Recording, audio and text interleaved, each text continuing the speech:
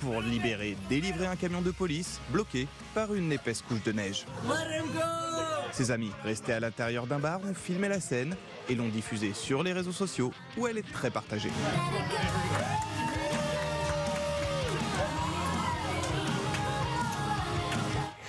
La chanteuse belge Axel Red sort aujourd'hui un nouvel album aux sonorités pop, Exil. Et justement, elle s'est exilée quelque temps à Los Angeles pour concevoir ce disque qu'elle a écrit directement en français, alors que d'ordinaire, elle préfère utiliser l'anglais et traduire ensuite ses textes. Dans ses nouveaux titres, toujours beaucoup de sensualité. Léo Didier Kellner et Audrey Vétaz. Un ballet amoureux Axel Red signe un retour romantique.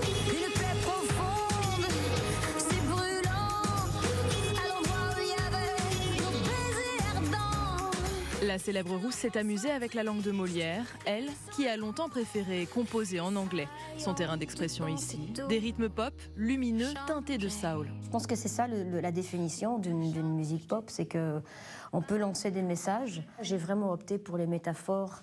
Euh, un peu comme on fait dans un conte de fées, en fait. Différents niveaux de lecture, on serait tenté de déceler une pointe d'engagement, surtout qu'Axel Red est ambassadrice de handicap international après avoir passé 20 ans à l'UNICEF. Mais non, elle nous assure le contraire. Ce n'est pas un album engagé.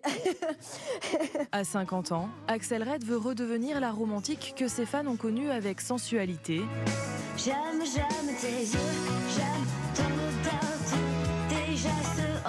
ou encore parce que c'est toi. Parce que c'est toi le seul à qui je peux dire qu'avec toi je n'ai plus peur de vieillir. 25 ans de carrière qu'elle regarde avec bienveillance, même si elle avoue avoir été un peu dépassée par l'engouement autour de Manhattan Kaboul, son duo avec Renault. J'adore tes chansons, surtout Manhattan Kaboul. C'est la seule que j'ai pas écrite. C'est un peu comme McCartney, quand il rentre dans un bar, il dit Tu peux être sûr, ils veulent me faire plaisir, ils mettent, ils mettent une chanson et c'est toujours celle, celle que Lennon a écrite. Mais j'adore Manhattan Kaboul, j'adore Renaud. Une chanson qui évoquait les attentats du 11 septembre 2001, comme si son engagement la suivait coûte que coûte. C'était le journal de la rédaction. Merci de votre fidélité. Dans un instant, scène de ménage, puis les aventures de l'ingénieux MacGyver. J'aurai le plaisir de vous retrouver demain dès 12h45. Très bonne soirée à tous sur M6.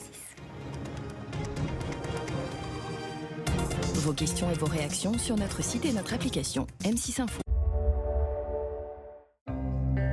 Vivez dans l'air du temps. C'est M6 Météo avec beau concept, meubles et design danois depuis 1952.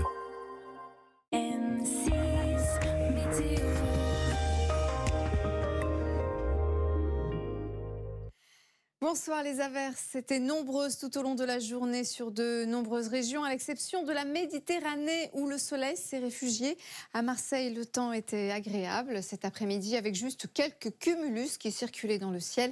Dans une ambiance plutôt douce, il faisait 17 degrés et ça va changer ce week-end avec des températures plus fraîches mais un temps lumineux. En effet, les températures vont continuer de baisser. Pour ce week-end, le temps restera perturbé.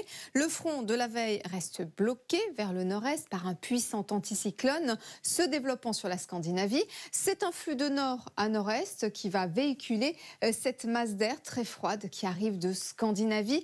Les températures vont commencer à bien baisser par le nord-est demain matin. Il fera 0 degré à Lille, 4 à Strasbourg ou Brest, 6 à Paris ou Lyon, 9 à Nice et 10 en Corse. Demain matin, vous vous réveillerez souvent sous un ciel bien gris avec une perturbation qui ondulera du nord jusqu'aux Alpes avec des pluies qui progressivement se mêleront à quelques flocons de la Haute-Normandie au Hauts-de-France. Euh, le vent sera également présent. Il neigera des 900 mètres d'altitude sur le Jura et à partir de 1100 mètres sur les Alpes. À l'arrière, c'est une nouvelle perturbation qui apportera des nuages et des averses près de la façade atlantique. Entre ces deux zones, brumes et bancs de brouillard seront présents, mais de timides éclaircies perceront par endroits.